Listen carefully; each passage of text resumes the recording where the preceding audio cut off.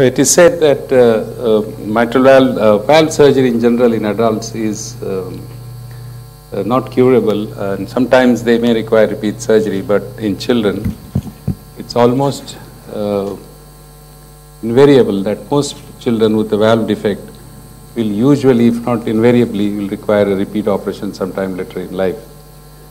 Uh, and repair of the mitral valve particularly is little more complex in children compared to adults because uh, many times uh, the valve defects which are congenital may not have all the apparate parts of the mitral valve, different five, six parts of the mitral valve apparatus and it will make the repair much more difficult as you have seen in the previous presentation of mitral stenosis where valves like hammock valves or even for that matter some variety of parachute valves were extremely hard to do any repair technically. I'm just going to be very brief uh, as far as possible. How does it go forward? Okay. So the function of the mitral valve uh, depends on a perfect and a synchronous uh, action or synchronization of all five or six parts of the mitral valve apparatus, namely the mitral annulus, my two leaflets, commissures, chordae tendineae, pair of papillary muscle, and not to forget the left ventricular wall, which equally contributes to function of the mitral valve. And the remodeling of left ventricle can cause uh, mitral regurgitation, as in ischemic mitral regurg or in congenital heart, where you can have a dilated ventricle causing significant mitral regurgitation. But most of the uh, mitral valve regurgitations are, majority if not all, majority of them are due to defects in the leaflets.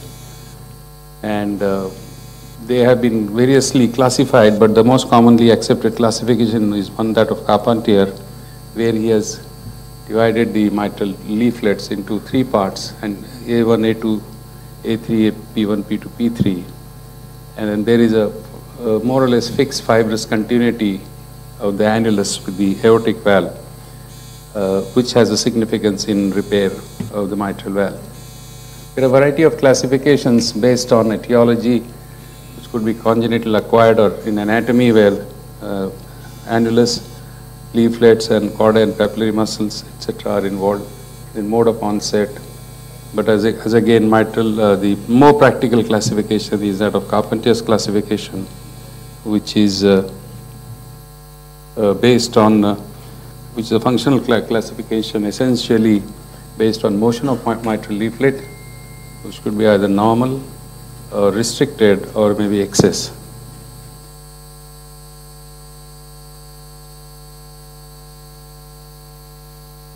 Now coming to pediatric mitral valve regurgitation, practically from surgical point of view, predominantly there are three types of lesions which are which cause uh, mitral regurgitation. The commonest one is the one which is caused by the cleft in the or AV canal type of defect, which is uh, part of the AV canal uh, endocardial cushion defect.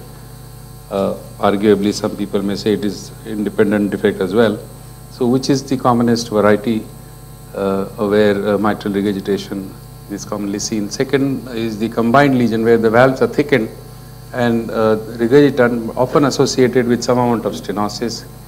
The one which was shown by Dr. Shiva is uh, previous presentation where the peeling uh, was the, of the uh, cusp is required to free them and repair those valves.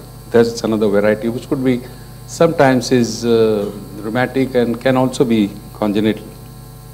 The third variety which is a pure regurgitation which is due to prolapse is somewhat uncommon and uh, it's also again can be both congenital as well as uh, rheumatic, depending on the age of the patient, of course. Now, before we go for uh, repair, surgical repair, there are certain prerequisites of uh, any valvular repair, particularly the mitral valve repair. It is absolutely essential to really sit down and have a good study of the echocardiogram and not only to uh, see the, just the severity of the regurgitation, but also the various five different components of the mitral valve apparatus and study carefully the annulus, cusp, papillary muscles and uh, their size and their relation. And you must plan your operation very well in advance rather than deciding it on table as far as possible. One of the other most important thing that you must have is an intraoperative transesophageal echocardiography. I think it's absolutely mandatory. One should not attempt to do a valve repair if you do not have this facility in today's uh, time. And in smaller children, neonates and smaller infants, sometimes it may not be possible to pass a, transesophageal echo probe, which is quite large for them, then in that case we should do a surface echocardiogram at the end of the operation to confirm uh, the adequacy of the repair. Now, this is a very busy slide which shows all the parameters uh, which uh, are used to assess the severity of the mitral regurgitation as well as various other aspects of the um, mitral valve. But one of the basic uh, uh, mechanism of regurgitation is inadequate cooptation. Uh, the, the, main reason of preventing regurgitation is not only the papillary muscle and the annulus uh, or the whole structure, but it's the area of cooptation which itself prevents the regurgitant jet coming into the left atrium.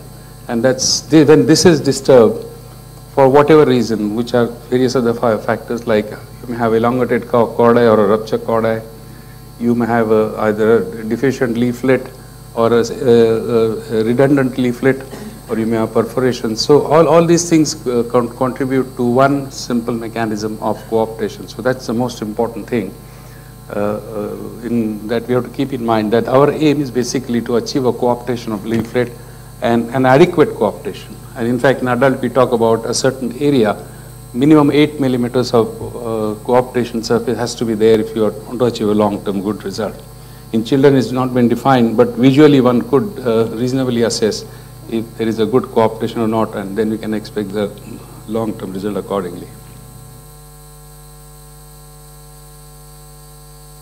Uh, echocardiography during surgery again, uh, uh, these are various steps. Uh, uh, which uh, are uh, which has to be strictly followed, which tells us not only, as I said once again, not only the severity but various factors. You can even predict, predict the failure, likely failure, or even the long-term post-repair. Also, we can be assessed on echocardiography. So, in short, echocardiography is very, very essential. Just a word about uh, SAM, which is actually not so much relevant in children, but it can happen in bigger, child, bigger child, adolescent. SAM is systolic anterior motion which is, uh, um, as we know, is the bulging of the uh, AML during systole into the LV outflow tract causing obstruction. Now, one is fairly well able to uh, predict uh, this in certain cases and there are certain parameters one can judge by C-sept um, distance as well as ALPL ratio and uh, one or two other parameters. But as I said, it is little more common in adults and not as common in children. Now, yeah, let us go to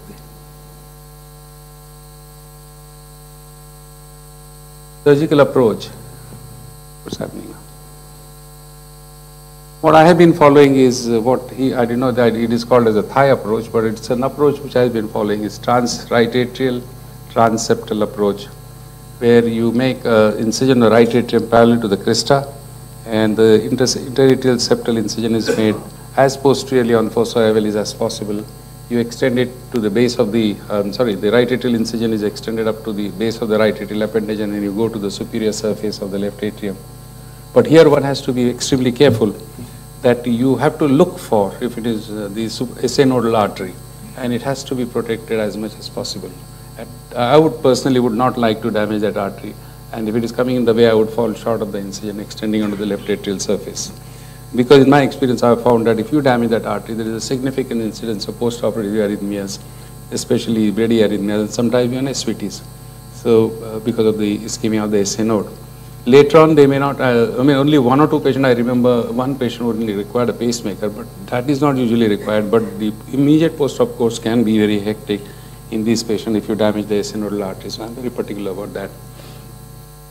The thing is that the incision which you make in the interatrial septum, uh, should be as posterior as possible. And if you still need more incision, uh, you can go on the right side towards the right superior pulmonary vein rather than going towards the left because then you go pretty close to the mitral annulus. Now this is an adult side actually, but you can see here the exposure of the mitral valve, which is so good, and there are no retractors at all. Without a retractor, you can have a brilliant exposure of the mitral valve, and you can see even the subvalvular structures, including the papillary muscle. Here is a case where you have done the art, myocarditis. It's very, very easily visualized with just a little retraction. Because it's important that you retract very little, because sometimes you can end up having a you know, if not a permanent temporary heart block because if you have very uh, hard retraction. Now, uh, another important thing is that when you are planning to repair a valve, you should be well prepared with your hardware, is the testing of the valve and the instruments to really visualize the valve carefully. Often, uh, uh last minute one should not be running around for instruments because I think one must spend a good amount of time looking at the valve, assessing every structure very carefully and in fact, you just time it. No matter what, I'm going to look at this valve for 10 minutes. Even if you feel at the end of 5 minutes that I have done everything, I'm okay, still go ahead and see it once again and be very sure what are you going to do now. Are you going to do the quadrangular resection? Are you going to do myocarda? Are you going to uh, narrow the annulus? Are you going to it? So all that has to be planned during that time. There should be no haste because this is the most important thing is your plan of your repair. Most often I've realized that people in haste they repair something and then feel it's not working. Then they undo it and do it again. And that wastes hell of a lot of time. So your repair should be well planned when you uh, go in. And uh, very, very important thing is that you have to have those nice retractors, uh, blunt hooks, to pull up the anterior leaflet, posterior leaflet. And some of, sometimes even these stays, which is 5060, to visualize uh, and measure the leaflets and the success underneath. Okay, now coming to the uh, cleft, the, which is the commonest cause of uh, mitral regurgitation in children. As I said, this cleft is usually part of the AV defect, and most often we like to close this, and this really helps in eliminating regurgitation in most cases. But sometimes if the cuspal tissue is deficient, then in that case, usually start taking suture from the base and you come to the free margin. You don't go from the free margin uh, to the base. And as you start taking suture, you can come to know that there is a bowstring of the leaflet, anti-leaflet, which is uh, now being formed. Then you feel that now it is going to cause a central uh, leak, in which case you may have to do some other maneuvers. One of the maneuvers that we do that uh, is that if the two papillary muscles, I am talking about smaller children, neonates or you know smaller infants, if two papillary muscles are uh, a little close by, then you may take one or two sutures to bring down, bring closer the papillary muscles so that the, there is no tension on the cleft and that helps in maintaining the uh, competency of the valve. Sometimes, but in spite of that, you may have a deficient tissue uh, in the cleft. So in which case, um, uh, Christian Brizard from Melbourne has described a, a patchplasty, a triangular autologous patch uh, is used to fill up the cleft and you suture it with 60 or 50 and you fill up the gap. Now again here, in spite of that, if you have a central jet, then what you need to do, because the structure of the mitral valve in the cleft is not the same. See, normally the ratio of the AML and PML, as you can see, it's a crescent shape, and uh, that is disturbed because now PML becomes very narrow.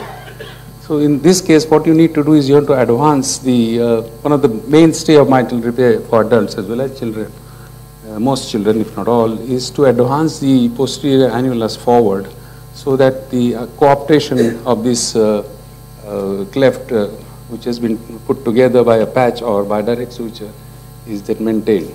So posterior annuloplasty is the uh, more or less integral part of most of the mitral repair and this is just to show this circular ring that has been shown here is just to show that this is not uh, this is not a part of a pediatric uh, repair because we don't want to have a circular ring because this annulus you are going to fix it now. when you fix this annulus with a circular ring, particularly if it is rigid, which of course these days we never use in for children, then this mitral is not likely to grow. And in future, if he needs a valve replacement, you are in trouble because you can't put an adequate size valve in these children then. So we, uh, we never put a, a, a circular ring in children. And that's what it is showing that upward, that it's only a posterior annuloplasty that is to be done and not the circular. Now, uh, some cases uh, there is only annular dilatation um, and then uh, it's quite common in children actually and you can uh, you can very nicely repair by what is called as case plasty, various names, case and Reed's plasty.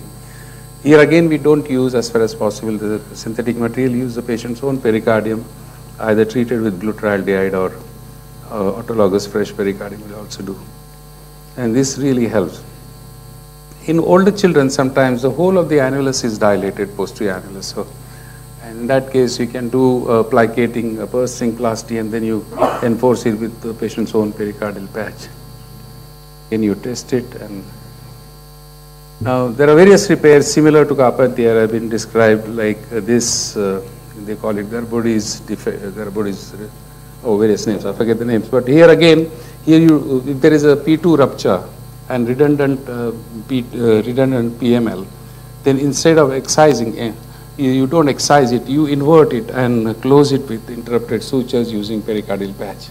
Now, this, this seems to work pretty well uh, because we don't want to exercise. As such, there has been a trend all over the world now for adults also to preserve rather than rather than excise. So uh, the term is, I think, uh, res uh, respect rather than resect. So similar thing is uh, very much applicable in children, and we don't like to resect the tissue. As such, we are short of tissue in children. But in older children, if you have a very redundant uh, cast, then we can certainly do uh, classical Carpentier's quadrangular resection and sliding plasty, which of course is a very gold standard in adult for repair.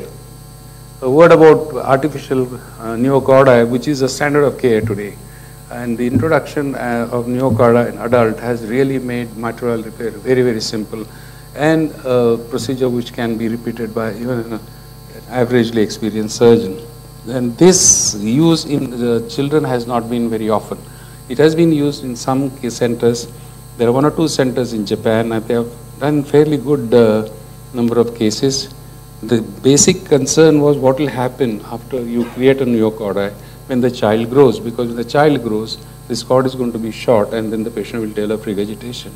But apparently, um, the midterm results of one or two centers I have studied, this is a, one paper from Fukuoka uh, who have followed up the cases for nearly eight years and eight and ten years, uh, uh, freedom from reoperation is as close to 85 percent, which is really brilliant for children because even at eight years or ten years, you achieve, and if you do the first operation at the age of two or three or four, so he's almost reaching an adult size, and you are able to put an adult valve if it is required at that time.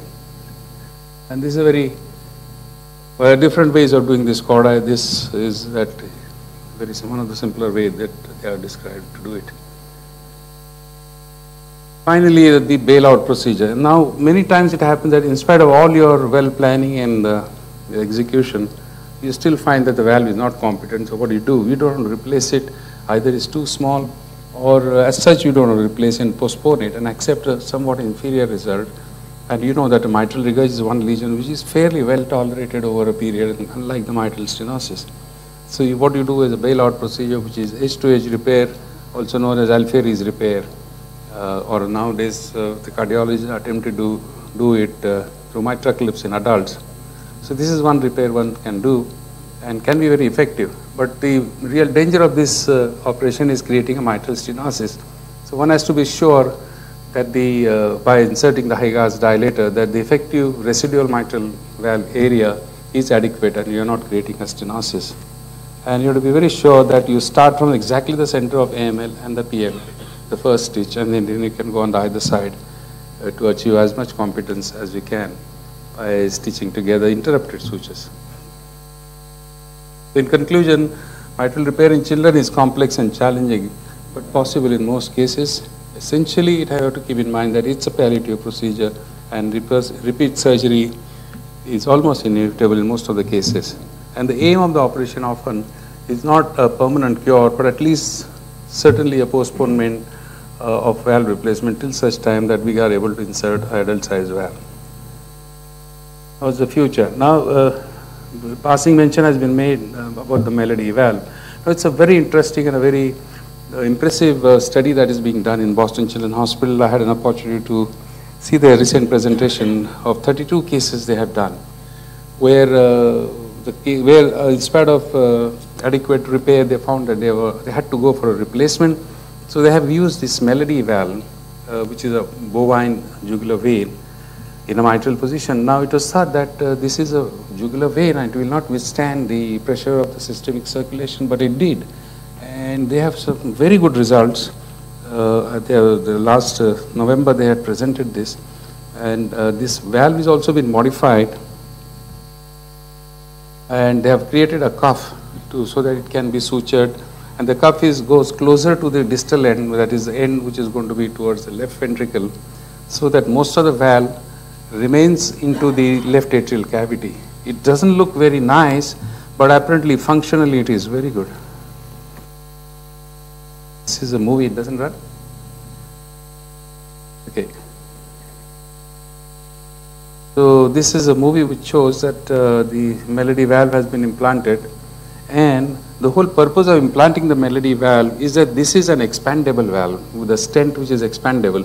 So if, if you implant say like a 12 size valve now and maybe after two years or three years or six years you can expand it and the beauty is that in spite of expanding the valve doesn't become incompetent. One would expect the uh, valve uh, because the stretching will become incompetent the, the coaptation will not happen as adequate but it doesn't because the structure of the vein uh, valves is somewhat different from the arterial valves.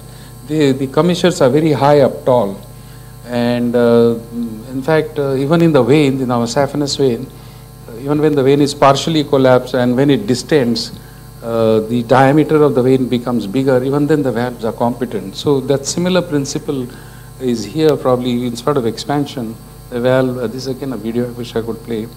See, they are showing here how it is expanded and still the valve remains. Uh, so that's the future. I think if you can put a melody valve and if it is, uh, uh, they have fairly good results, I think 6, uh, 19, uh, 8 years, or 8 years or 10 years follow 32 cases. and they have compared it with the valve replacement, which has disastrous results, in spite of whatever kind of valve you may put and have a good follow-up, still the results of replacements are very disastrous. And that's why these melody valves appear to be a good uh, step uh, where you can put a valve as well as preserve the annulus and let the annulus grow so that subsequently you are able to put a larger valve. Thank you.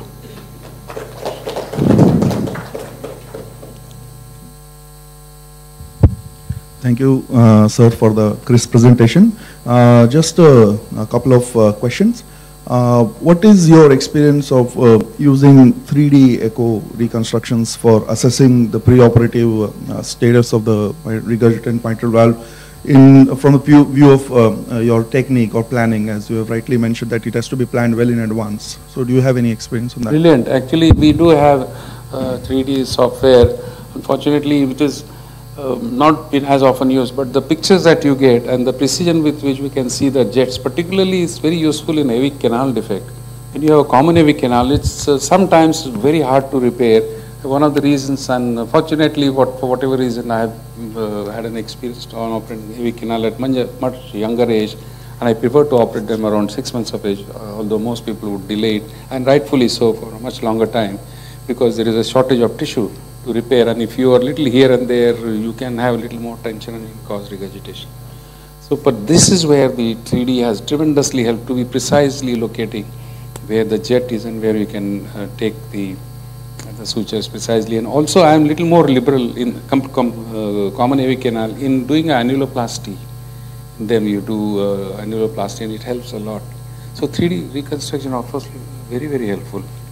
And um, in dysplastic mitral valves, especially those are regurgitated because of uh, leaflet deficiency. What are you, your views on uh, leaflet augmentation? Yes, leaflet augmentation is often used, particularly in endocarditis, where you debride the leaflet as much as possible and don't excise it. And if the valve structure is uh, very good, then you can debride and put a patch.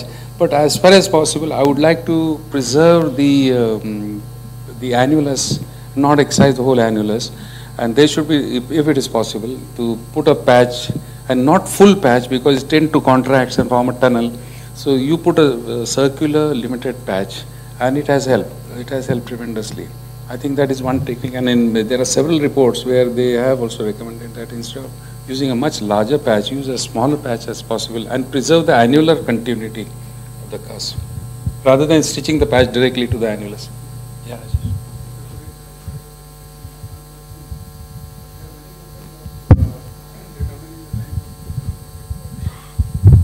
What, as per your what would you recommend is the best method for for doing this? Actually, in adults, so they are fairly standardized. Now we have got a uh, caliper which measures the uh, height of the. Uh, uh, there are two, three companies which make this caliper. So from the tip of the papillary muscle to the normal chordal length, you measure that and then you prepare the cord accordingly.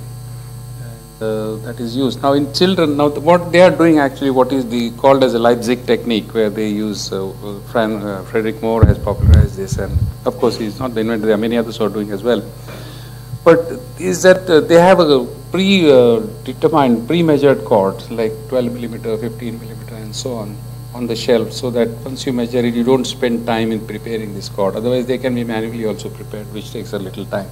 But there are calipers which can actually measure the length of the normal cord, and then the same can be measured with a caliper. I wish I could show that. It's a, it's made by Gister. It's available here.